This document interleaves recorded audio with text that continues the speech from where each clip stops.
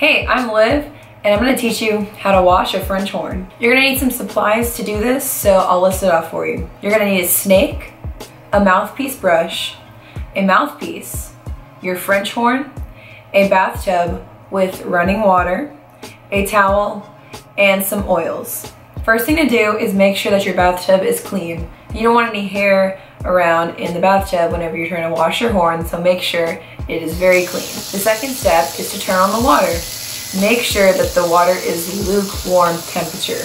I made this mistake when I was a freshman in high school and put a horn that had lacquer on it in water to wash it with hot water and the lacquer came off of the horn. I'm here to tell you do not do that. Lukewarm water is where it's at to wash French horns. When taking the slides out, be sure to hold down the valves to release the air and keep the rotors tight.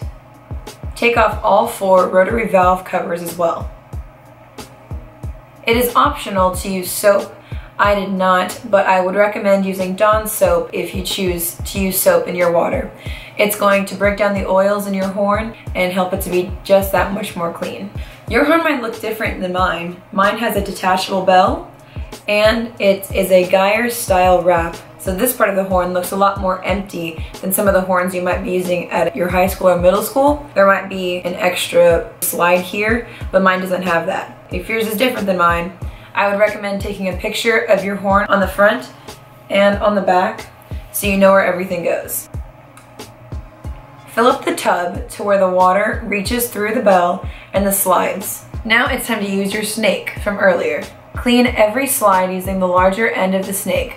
I suggest doing this with the slide submerged in the lukewarm water so the snake helps the water get the gunk and oils off of the slide. Once you're done with that, move on to the rotary covers and scrub them. Now set the slides off to the side and move on to the horn. First scrub the inside of the slides of the horn, every single one.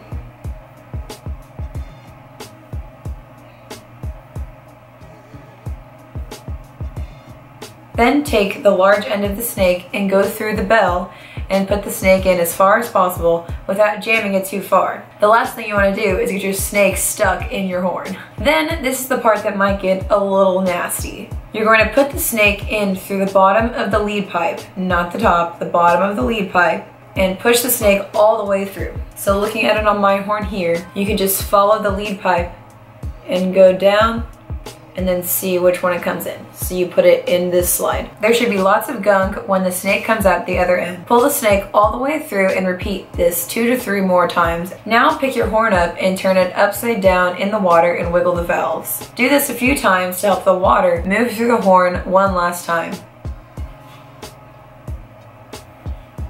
When you're done cleaning the horn, make sure you get all the water out of the horn. Turn your horn in clockwise motions while wiggling the valves to get all of the water out of your horn. Listen for the gurgle sound when you wiggle the valves to see if there's any water left. Now dry the horn and all of the slides and the rotary valve covers. Make sure to get all the cracks and crannies of the horn. There are lots of them, so make sure you look through the horn and that all the water droplets are dry.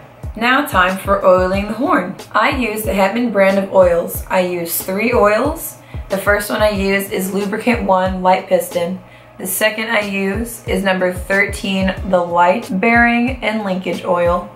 And the third I use is for the slide grease and it's just lubricant 6.5 slide gel light. Use 13 for your rotary valves and wiggle them a little bit once you put on the oil. And then cap the valves.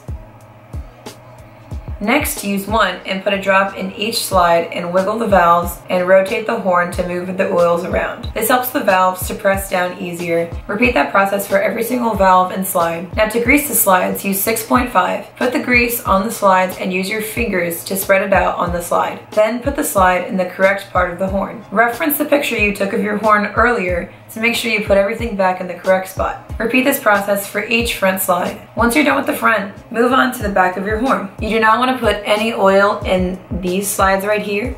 You just want to grease these slides and put them back in.